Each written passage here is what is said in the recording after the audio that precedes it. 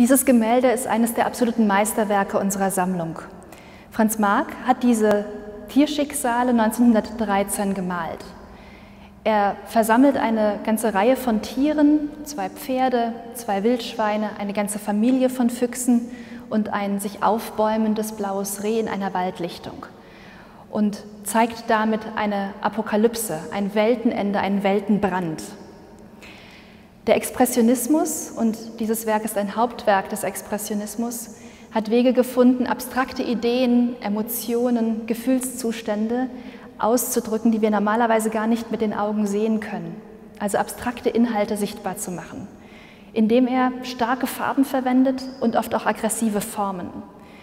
Und in diesem Werk kommt alles zusammen. Wir haben ein absolutes Meisterwerk eines großartigen expressionistischen Künstlers vor uns wir haben diesen fast prophetischen Moment vor Ausbruch des europäischen Weltenbrandes, nämlich des Ersten Weltkrieges.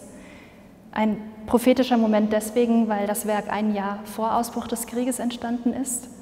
Und wir haben ein Werk, was ähm, die Bildgeschichte, also das Thema und das, was dem Werk an sich widerfährt, wie überlagert. 1917 soll es auf einer Gedächtnisausstellung für den gefallenen, bei Verdun gestorbenen Künstler gezeigt werden. Und im Depot gerät es in Brand, sodass die ganze rechte Seite zerstört wird. Paul Klee, ein Freund von Franz Marc, restauriert daraufhin diese rechte Hälfte und man kann noch heute die Schäden sehen, die er bewusst sichtbar gelassen hat. Und dann in den 30er Jahren kommt ein weiterer solcher apokalyptischer Moment in der Geschichte des Bildes hinzu, nämlich als die Nationalsozialisten es für entartet erklären, aus dem Museum in Halle, wo es bis dahin gehangen hat, entfernen und es ins Ausland verkaufen.